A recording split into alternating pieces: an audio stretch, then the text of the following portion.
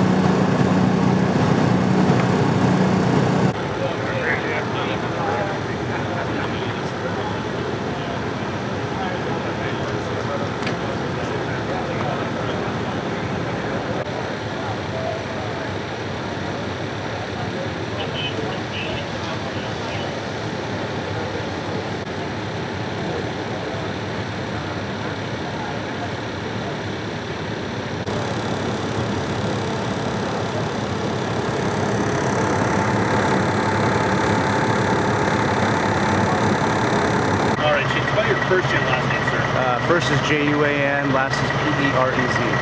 Shane, talk uh, extensive operation here, Trollo on extrication.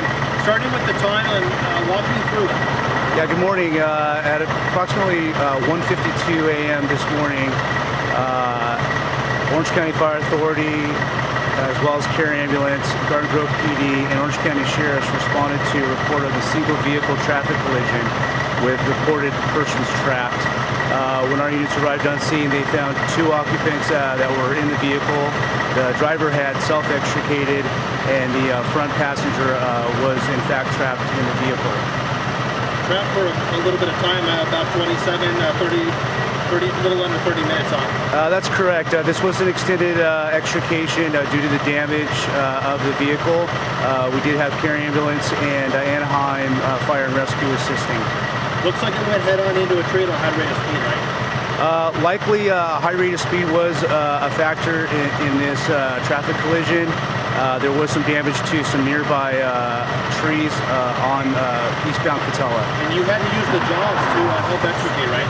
That's affirmative. Uh, this was a, what we call a, a traffic collision cut and rescue, uh, where we had to uh, remove the car away from the patient in order to uh, gain access to tree. It looks like the passenger has extensive leg injuries. Um, unknown at this time, right? That's affirmative. Uh, as I said, uh, there was uh, an extended extrication.